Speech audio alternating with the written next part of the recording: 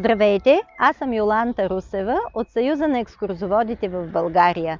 По случай 100 години от обявяването на Варна за морски курорт, днес ще ви разкажа как се е образувала алеята на Възраждането в морската градина на Варна.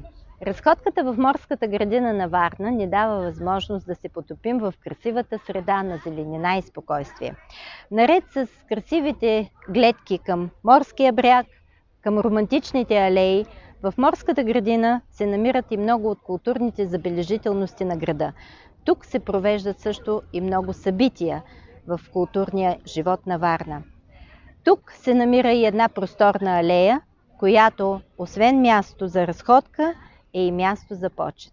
Това е алеята на Възраждането, създадена през 1907 година по идея на група варненски общественици с замисъл на една просторна алея да бъдат разположени паметници на редица български видни бележити писатели, поети, духовници, с една дума възрожденци.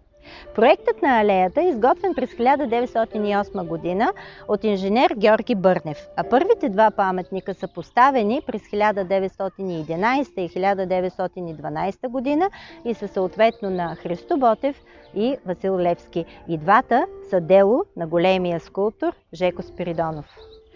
И макар изграждането на алеята на Възраждането да предшества обявяването на Варна за курортен морски град през 1921 година, трябва да подчертаем, че тя има голямо значение в развитието на културния туризъм в града. През 20-те и 30-те години на 20 век и последните години и десетилетия Алеята постепенно се изпълва с нови паметници на възрожденци, съгласно първоначалния замисъл на своите основатели. Появяват се паметниците на отец Паиси, Васил Априлов, митрополит Симеон. Варненски фотографи и издатели насочват вниманието, като поставят алеята на Възраждането върху лицевата страна на почтенски картички.